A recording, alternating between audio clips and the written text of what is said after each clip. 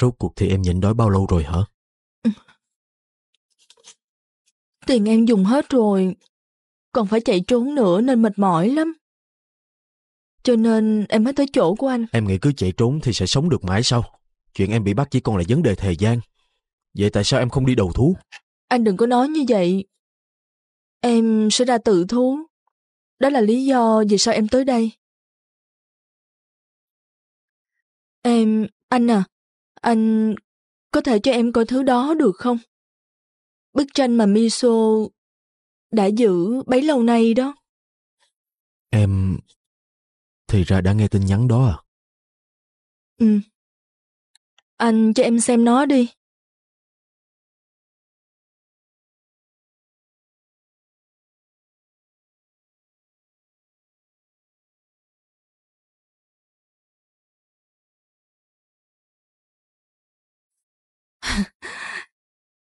Đúng nó rồi. Đúng là cô ấy giữ bức tranh này. Ba của Miso luôn giữ nó trong bắp của bác ấy. Đúng rồi. Lúc còn nhỏ, em với Miso đã cùng vẽ bức tranh này. Em đã quên tất cả rồi. Còn Miso thì nhớ hết Na Yon à. Cô ấy nhớ cả thời gian hai đứa em còn ở cô nhi viện thiên thần vẽ bức tranh này. Và cả hai đều mong được ba mẹ tốt. Phải rồi. Tụi em đã có khoảng thời gian như vậy. Na Yon à, Sao? bỏ qua. Mà em đặt trước mộ của Heram. Miso nói nó rất đẹp. Thực sự... Cô ấy nói như vậy sao? Jun Miso khen bó hoa đẹp sao? Cô ấy đã nói vậy. Dù vậy, nhưng em cũng không thể chuộc lỗi được. Chỉ là em thấy quá có lỗi với Hiram, nên đã mua nó đem tới thôi.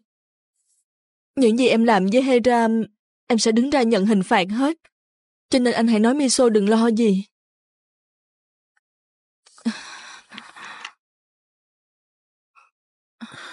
Em ăn gì nữa không? Nhà anh không còn gì ngoài mì gói hết. Ừm, anh à, anh mua cho em cơm cuộn đi. Mấy ngày nay em chẳng được ăn miếng cơm nào hết. Được anh biết rồi. Anh đi mua rồi về liền. Ừ, anh đi mua đi.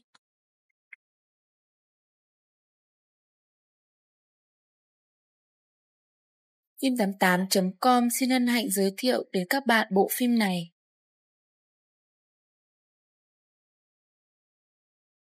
Na Yon à, anh về rồi nè.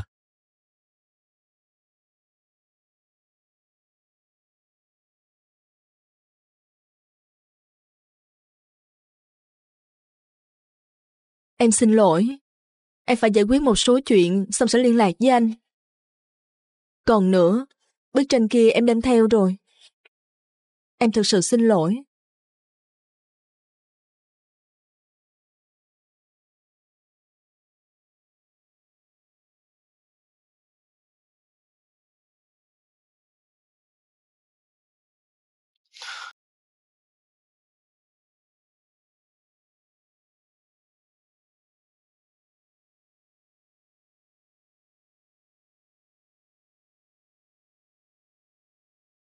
Chuyến đi tới chỗ Hiram này, anh đi cùng em có được không? Miso à, Luật sư Seo à, tôi xin lỗi nhưng mà tôi muốn đi cùng anh trai của mình. Miso à, sao lại làm anh ấy buồn như vậy hả? Mình có chuyện cần phải nói với anh trai của mình mà. Luật sư Seo đi cùng, dù sao cũng thấy không được thoải mái lắm.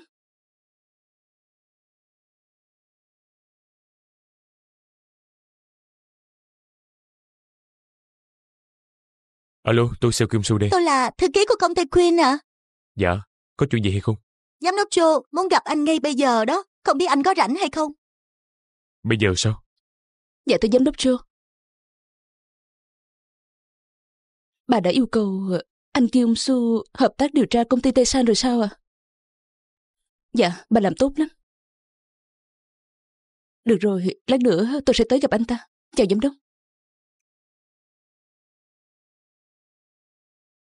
Muốn bắt được Otesan, nhất định phải cần tới sự giúp đỡ của luật sư Seo. Nhưng luật sư Seo Nghe nói về tình yêu nên đã từ bỏ rồi. Luật sư Seo Kyung Su, nếu không có cô Yoon Miso, thì mới có thể làm sáng tỏ vụ án của anh mình. Cho nên, về lợi ích của hai người thì việc chia tay bây giờ là tốt nhất đó.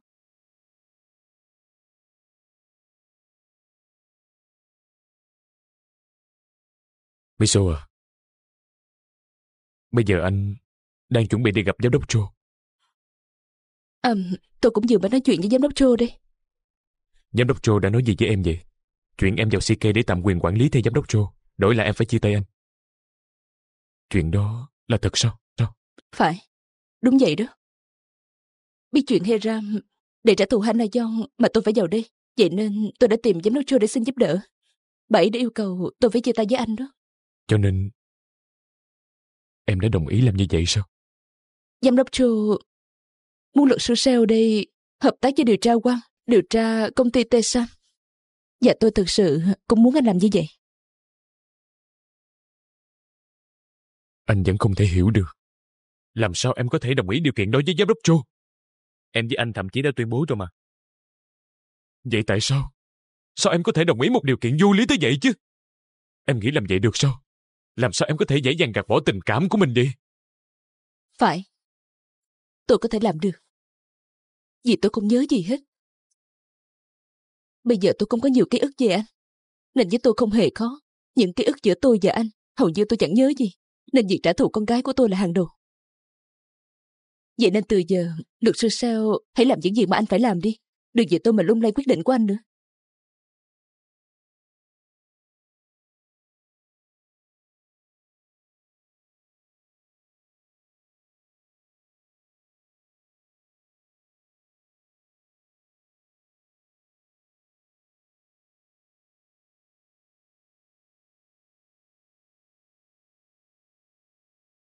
Nếu đi tới đó, mình có thể thấy cực quang giống như trong hình. Cực quang trong tiếng Latin có nghĩa là ánh rạng đông đó. Anh thật sự muốn cùng với Miso ngắm cảnh đó vào một ngày trời lạnh. Nhìn ánh sáng đó, anh nghĩ chúng ta sẽ có thể bắt đầu một cuộc sống mới tốt đẹp cùng với nhau. Sự tồn tại của em rất quan trọng đối với anh, giống như ánh sáng lúc rạng đông. Tìm đến trong một ngày trời lạnh của cuộc đời anh.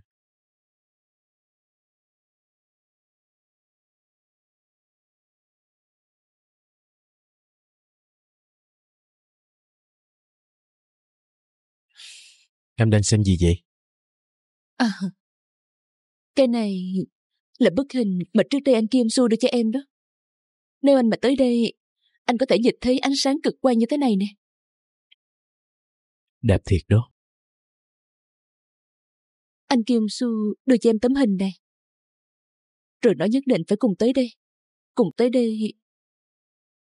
Rồi cùng em bắt đầu lại từ đầu.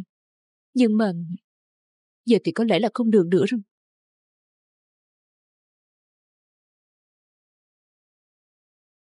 Em chỉ hy vọng là sau một đông lạnh lẽo này thì một mùa xuân thực sự ấm áp sẽ tới. Nếu tới lúc đó anh Kim Su và em hai người đều không quên được nhau.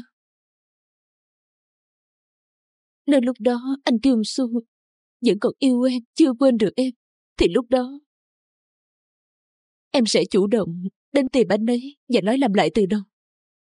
Em sẽ nói với anh ấy rằng hãy yêu nhau như mọi người đi. Hãy làm vậy đi.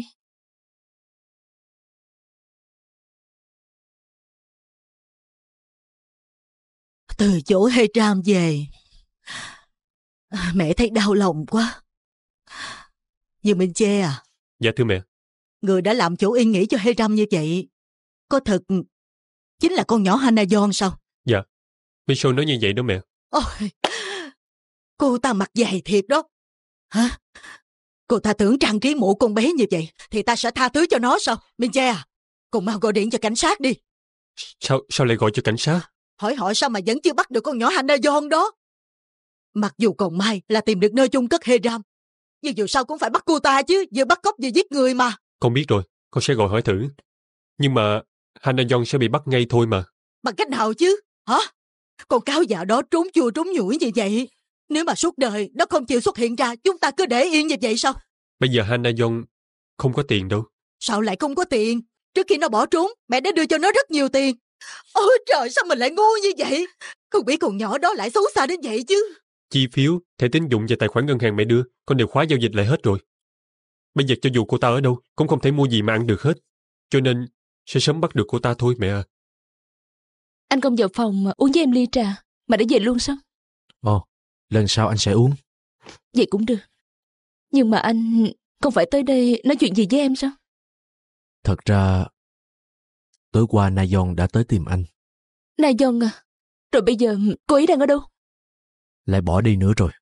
Có vẻ mấy ngày nay không được ăn gì hết. Cô ấy nhờ anh ra ngoài mua cơm cuộn về. Nhưng khi anh về tới nhà, đã không thấy cổ nữa. Anh xin lỗi. Đáng lẽ anh phải giữ cổ lại. Vậy là giờ cô ấy đang chạy trốn để tránh mặt mọi người sao? Tại sao anh không nói cô ấy tự thú đi? Anh cũng nghĩ cổ quay lại để tự thú. Nhưng hình như vẫn chưa giải quyết được gì. Chắc là cô ta sợ quá thôi. Nghĩ đến việc phải ngồi tù để trả giá tội lỗi của mình. Cô ấy nghĩ rằng như vậy cuộc đời sẽ kết thúc. Nàng dần nói là chuyện xảy ra với Hiram không phải cố ý. Nếu thật sự như vậy, em cũng muốn cho Na Dông một cơ hội để làm lại cuộc đời. Cho nên mới kêu cô ấy đi tự thú. Nhưng mà xem ra bây giờ cô ta vẫn còn lưỡng lự chuyện này. Miso à, em hãy chờ Na Dông một thời gian nữa. Na Dông có thể sẽ muốn nhận cơ hội cuối cùng từ em. Nên hãy chờ thêm thời gian nữa đi. Nhưng nếu bị bắt thì sao đi? Tới lúc đó thì sẽ không còn cơ hội nào nữa đâu. Lúc đó có lẽ là em sẽ không thể tha thứ cho cô ấy nữa đâu.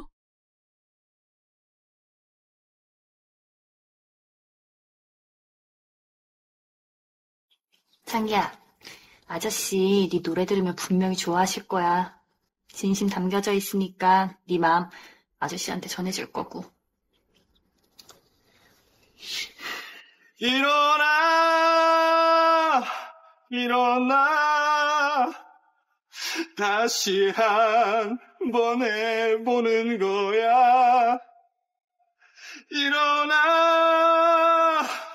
일어나, 봄의 새싹들처럼.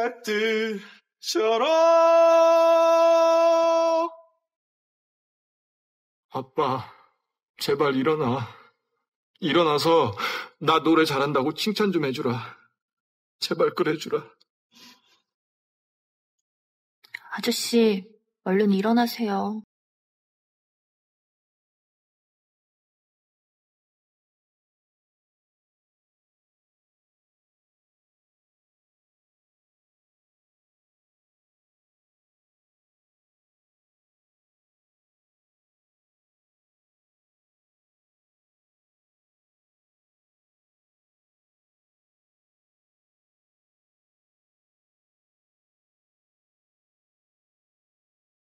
Tiệm thuốc.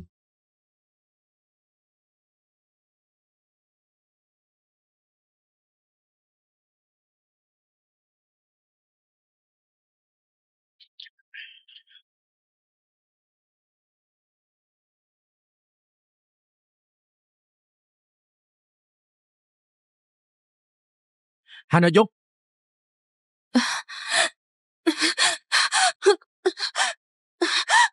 Thả em ra, thả em ra đi. đây là cái gì? Em định uống thuốc tự tử sao? Hả? Em không có dũng cảm tự thú mà có gan tự tử à? Em chỉ có được nhiêu đó thôi sao? Sao em lại ngu ngốc như vậy? Miso đã nói cho em cơ hội, em tự thú rồi bắt đầu lại từ đầu là được mà. Anh nghĩ như vậy là xong sao? Em đã hết rồi anh à. Cuộc đời của em đã chấm dứt rồi. Em im đi. Anh không để em như vậy đâu.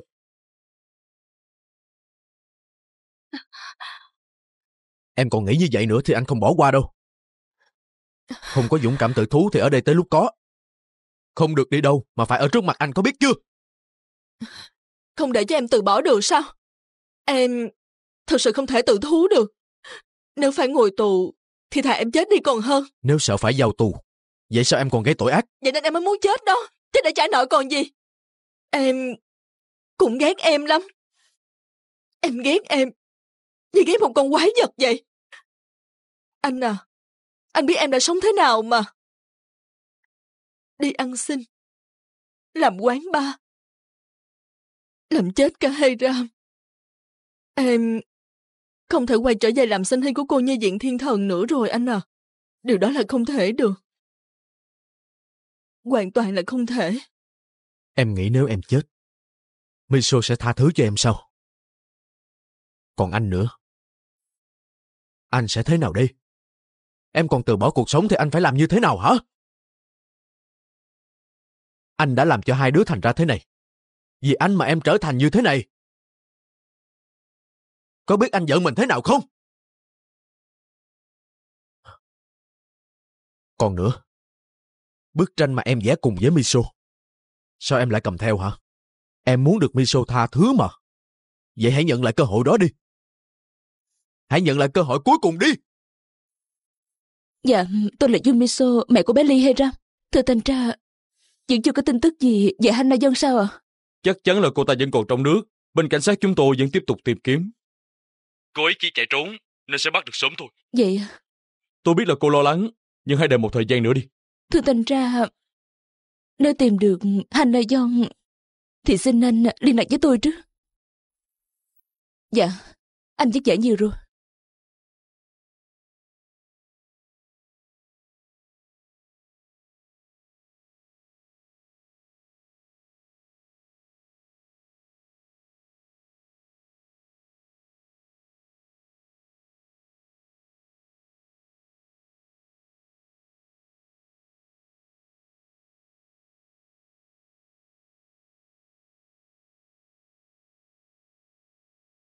사랑의 시작은 어딘가 끝을 너도 가슴이 널 놓지 않나 봐. 쉬는 밤에도 내 몸이 아파와 잡힐 듯 보인다. Em tới đó? Sao anh lại uống nhiều rượu vậy hả? Tại anh mệt mỏi quá. Vì Miso mà anh đau khổ nên mới uống thôi. Đi thôi, để tôi đưa anh về nhà. Em không có gì nói với anh sao? Nói lời xin lỗi anh. Hãy nói là em sai rồi đi. Tôi gọi taxi rồi, mình mau đi thôi. Em chỉ nói vậy thôi sao? Nếu tới đây để đưa anh về nhà, thì anh có thể tự về được.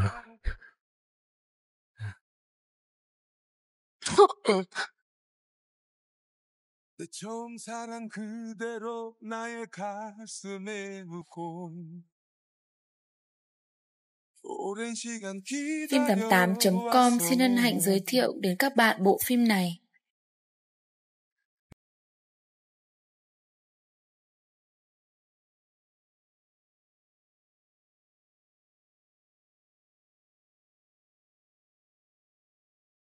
À, Anh chờ một chút, để tôi pha nước mật ong.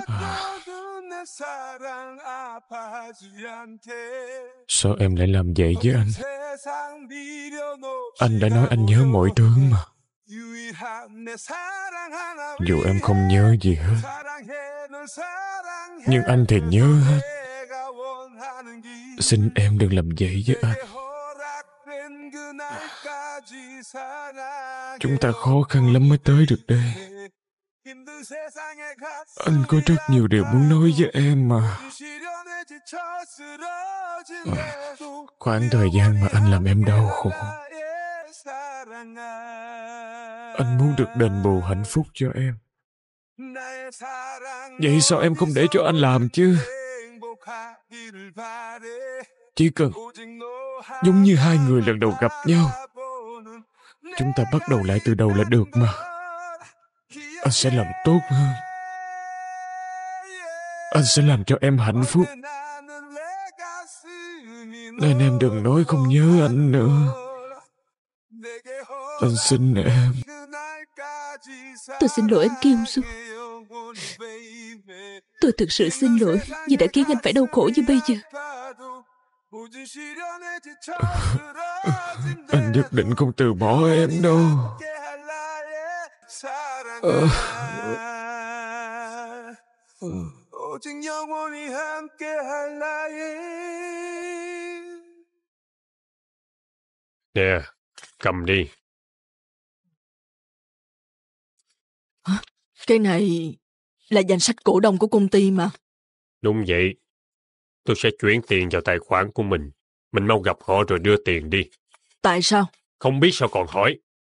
Phải hạ Yumiso từ vị trí đó xuống chứ. Vị trí đó mình phải nắm giữ. Ý ông là mua chuộc họ bằng tiền sao hả? Tôi không làm được. Đừng có nói lung tung. Cứ làm đi. Chỉ cần làm theo lời của tôi, chức đại diện CK sẽ là của mình. Ai cho phép vậy chứ? Từ bây giờ trở đi tôi không dùng những đồng tiền của mình vào CK nữa. Sau này ai biết được sẽ có chuyện gì xảy ra chứ? Bà nói với tôi là vợ chồng. Nếu tôi phá sản thì bà cũng sẽ như vậy thôi. Tôi, dù có phải từ bỏ vị trí phó tổng giám đốc CK, cũng không đi theo ông nữa đâu. Bà không đi theo tôi nữa. Ý của bà là bà sẽ đi con đường khác tôi hay sao chứ? Không có gì là không thể. Cái gì? Bà nói hết chưa vậy? Vẫn chưa. Tôi vẫn còn điều muốn nói. Ai là người khiến Herion thành tội nhân? Còn nữa, ai là người đã làm con rể sale phải sống trong 7 năm địa ngục vậy? Tại sao bà cứ lôi chuyện cũ ra nói hoài vậy? Tôi chỉ vì trách nhiệm một người cha mà làm những việc cần phải làm mà thôi. Đừng dùng Herion để làm lời biện minh cho ông. Ông chính là kẻ sát nhân, một kẻ sát nhân máu lạnh. Mỗi ngày sống với ông đều như trong địa ngục. Ông nghĩ tôi sẽ muốn sống cùng hay sao hả? Tại sao bà lại dám nói như vậy chứ? Từ giờ ông không phải thất vọng về tôi nữa đâu. Vì ông là người dưới đáy xã hội mất rồi. Nè, Ngô Du Chuông! Ông đừng có ép tôi nữa. Và ông cũng đừng kêu tôi làm những việc như thế này nữa.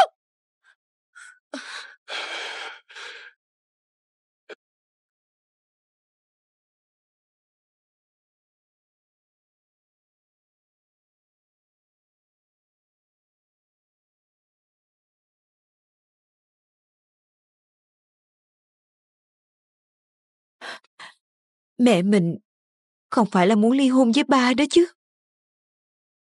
Không được, không thể để mất mẹ được.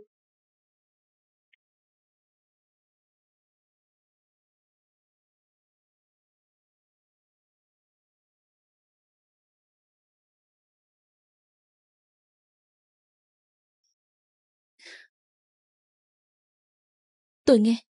Vì chị mà ba mẹ tôi định ly hôn kìa. Chị tính sao? Ly hôn là sao? Cô nói gì vậy hả? Ba tôi đã bắt mẹ tôi là phải đẩy chị ra khỏi chức giám đốc đó. Nhưng mẹ tôi từ chối và thậm chí đề nghị ly hôn với ba tôi. Tôi vì sợ chuyện này, nên muốn chị đừng nói chuyện chị là con gái ruột của mẹ tôi. Tôi nói cho chị biết, nếu như chị làm như vậy, là chị sẽ phá tan nát gia đình của tôi đó. Chị, chị biết ba tôi là người đáng sợ như thế nào mà. Chị nghĩ ba tôi sẽ bỏ qua chuyện này dễ dàng như vậy sao? Cô Harriet à, giờ cô đang hoảng loạn quá rồi đó. Gặp nhau rồi mình nói chuyện nha. Chuyện thế này sao tôi không tức giận được hả? Mẹ của tôi, nếu như có chuyện gì xảy ra thử xem. Lúc đó chị phải chịu trách nhiệm đó, chị hiểu chưa? Cô Harriet à,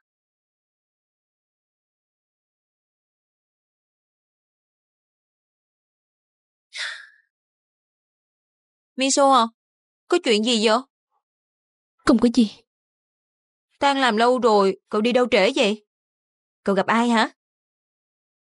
Đi gặp luật sư sale có phải không hả? Anh ấy say rượu nên gọi mình tới. Luật sư sale say rượu được gọi cậu sao? Anh ấy cứng rắn lắm mà. Miso à, luật sư sale vì cậu mà đau khổ lắm đó. Mình cũng biết chứ. Chuyện mình gặp giám đốc Joe và bà ấy yêu cầu mình chia tay với anh Kyung Su để làm đại diện cho Quyên. Anh Kyung Su đã biết hết rồi. Ồ, làm thế nào bây giờ? Luật sư sale chắc là phải đau lòng lắm đó. Miso à. Miso à, cậu có ổn không hả? Không ổn chút nào hết. Anh ấy say rượu, nhìn anh ấy đau khổ như vậy, lòng mình đau như cắt trong hi à. Cậu biết không? Mình... Mình không thể tiếp tục nhìn anh ấy đau khổ như vậy được nữa.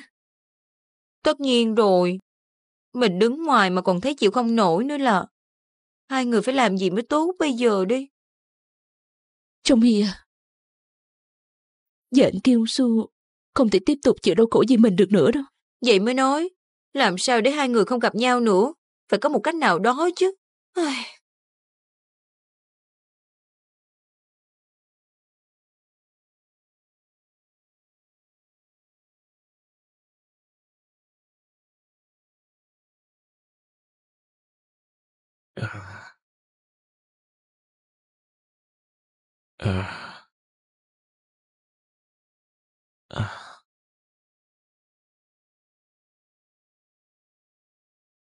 Tôi xin lỗi anh Kiêu Su.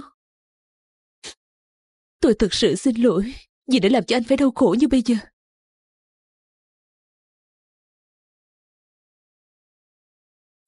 Rõ ràng là Miso đã gọi tên mình. Rõ ràng cô ấy đã gọi tên mình. Tối hôm qua, Herian đã gọi cho con đó. Herian sao? Con bé đã nói gì? Cô ấy nói là hai người đã cãi nhau. Herian nói Chủ tịch Otesan là người nếu muốn có thể làm bất cứ điều gì. Cô ấy sợ có chuyện không hay xảy ra. Cô ấy có vẻ lo lắng lắm mẹ. Nhưng mà thực ra thì con cũng lo lắng lắm. Miso à, mẹ cũng xin lỗi con. Chuyện con quyết tâm chia tay với Kyung Su.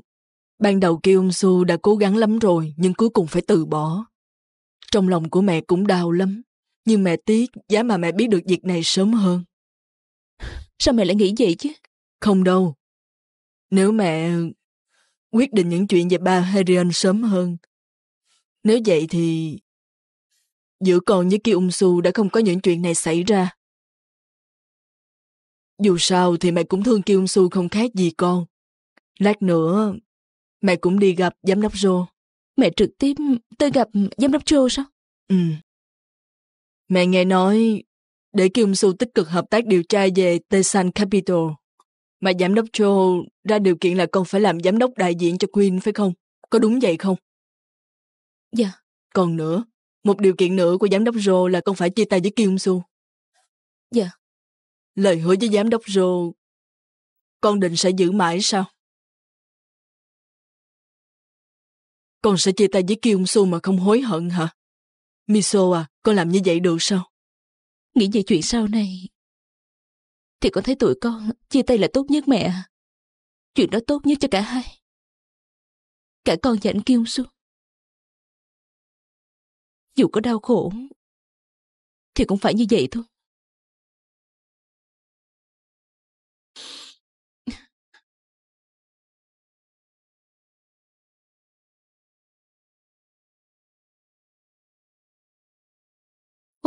Anh tới rồi đó hả? Có chuyện gì vậy? Sao không gọi em trước? um, anh có chuyện muốn nói với em. Có chuyện muốn nói là chuyện gì vậy? Chuyện này... Na Dông...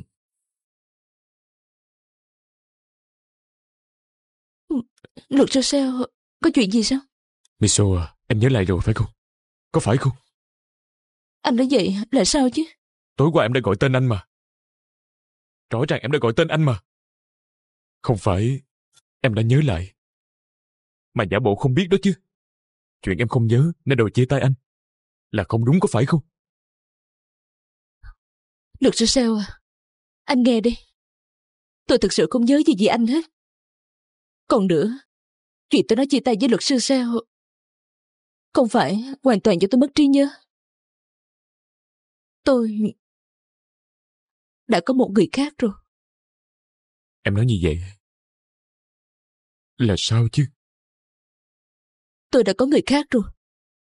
Tôi thích anh Jay á. Miso à? Anh có cần tôi phải nói lại không? Tôi thật sự thích anh Jay á.